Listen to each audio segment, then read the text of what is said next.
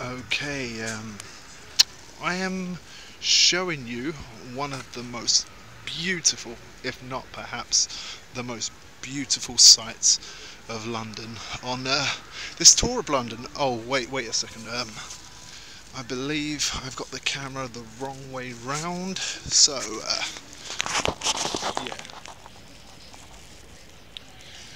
that is much better. Uh, this right here what you are looking at is the most beautiful sight in London, if not the world.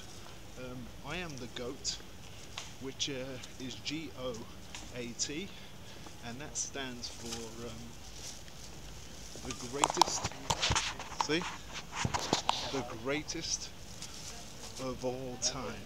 And yeah, I'm about to show you something slightly less spectacular which uh, you've already seen by my accidental uh, miscalculation with the camera. That right there is Big Ben. I mean, he's no Big Rick, but he is pretty big. You smell what the Rick is cooking.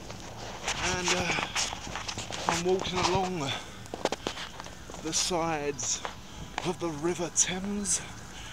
They should rename this, to be honest, the Rick Thames or uh, Rick on the Thames.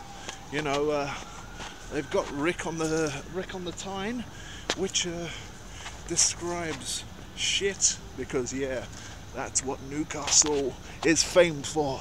A big steaming, stinking pile of monkey crap.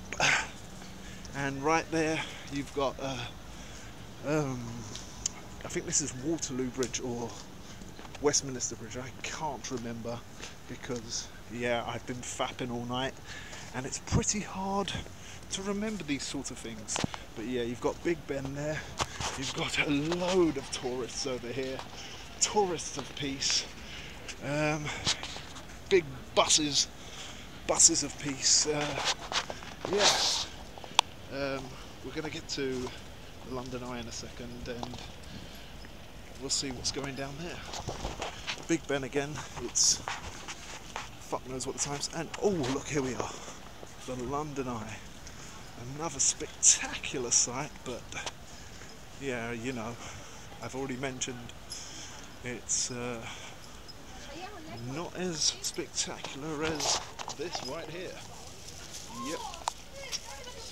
Talk to you all soon. Say bye, London Eye. Bye, London Eye. Woo, woo, woo. Rick loves you.